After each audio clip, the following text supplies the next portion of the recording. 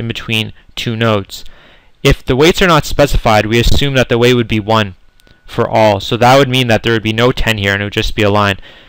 Since there is no number, we can just assume that it would be 1. And we're going to use an adjacency matrix to represent the weighted graph.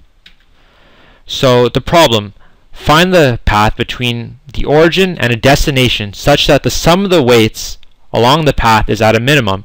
So there are many applications to this, and the one that I like the most is robotic, robotic navigation. And uh, here's a quick animation that I found on Wikipedia, which actually illustrates it very, very nicely. So if we have our origin here and our destination, we're trying to find the shortest path between the two. And there's a barrier in between. So the algorithm which we use is Dijkstra's shortest path algorithm. And what it is, is it finds the closest path from the origin and then sees its closest paths. And we traverse through the graph looking at the shortest paths from each one and keeping track of it. So once we traverse the full graph and we and we find our destination, we are then able to know the shortest path. It might be a little bit confusing, but we'll go through a problem and it's fairly quite simple.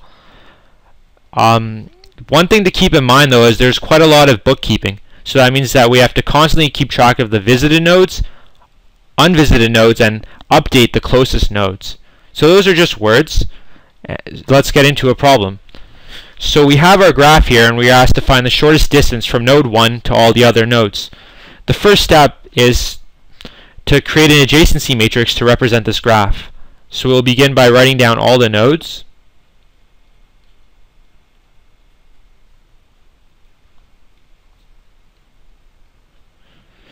We can safely assume that the distance to a node to itself is 0.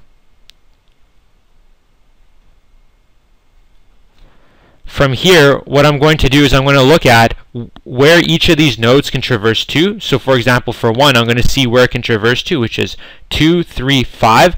And then I'm going to mark the weights under each column. So 3, 5, infinity, 6, infinity,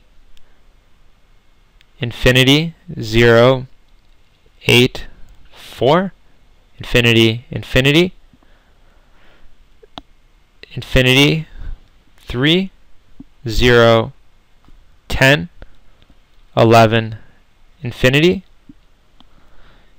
infinity, infinity, infinity, 0, infinity, 2, infinity, 4, infinity, 7, 0, infinity, and 4, infinity, infinity, infinity, 1, 0. So now we have our representation in the form of an adjacency matrix so we understand where each node can go to and the weight associated. So I'm just going to move this to leave enough room. And as I said, it this algorithm involves a lot of bookkeeping. So I'm going to use this chart where I have the node number where I have the visited node numbers here, the unvisited, the current, the distance to the current, and this will keep track of the shortest weight for each node. So one, two, three, four, five, six. So the first node is 1, as stated in the question. So we're going to visit 1. The rest are going to be unvisited. distance to 1 will be 0, and I'm just copying it straight off of this chart here. Is 6 infinity. So now, of all of this, we're going to look at and see which is the closest node, and we've already visited 1. So the closest node is 2, because it has the lowest weight of 3. So now we're going to go and we're going to visit it. So 2 and one's already been visited. Three, four, five, six. Current node is 2. Distance to current is 3. Since we already visited one, and we're visiting 2, that's the shortest, then we continue. So 5 infinity, 6, infinity. So what did I just do? What I did is I looked at, actually I made a mistake here. That's a 7.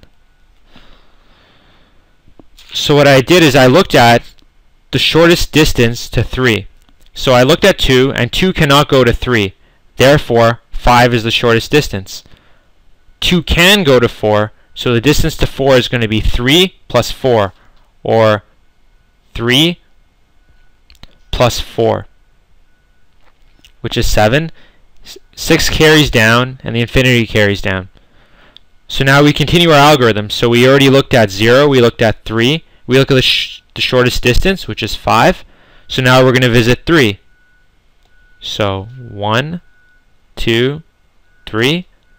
Unvisit is 4, 5, 6. Current node 3. The distance to current is going to be 5. 0, 3, 5 carries down.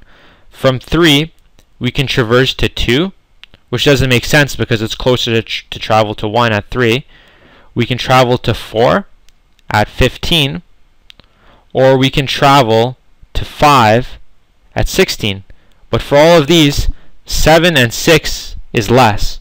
So we carry those down, and we still can't travel to 6. So from there, we're going to look at the shortest, which is 5. So we're going to travel to 5. 1, 2, 3, 5. We haven't looked at 4 or 6. The current one is 5 with the distance to 5. So we're going to carry down 3, 5, 6. The distance to 4 when we're at 5 will either be 6 plus 7 or the original 3 plus 4. Obviously 3 plus 4 is less, so the 7. And from 5 we still cannot travel to 6.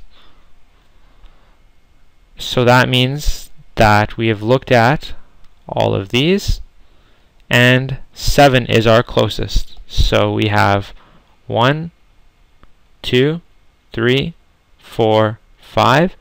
We still haven't traversed 6.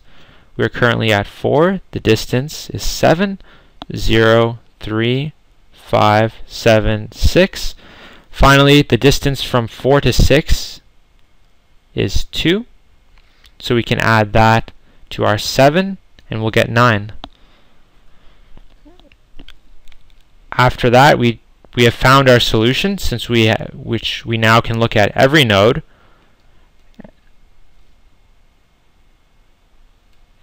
And our distances are 0, 3, 5, 7, 6, 9.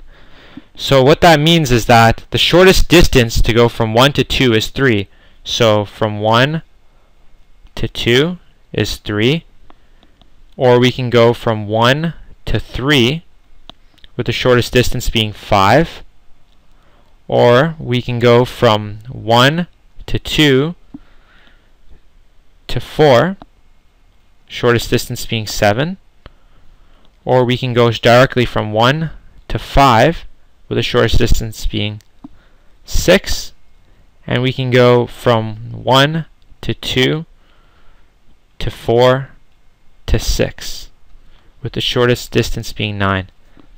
And that's Dijkstra's shortest path algorithm. Thank you.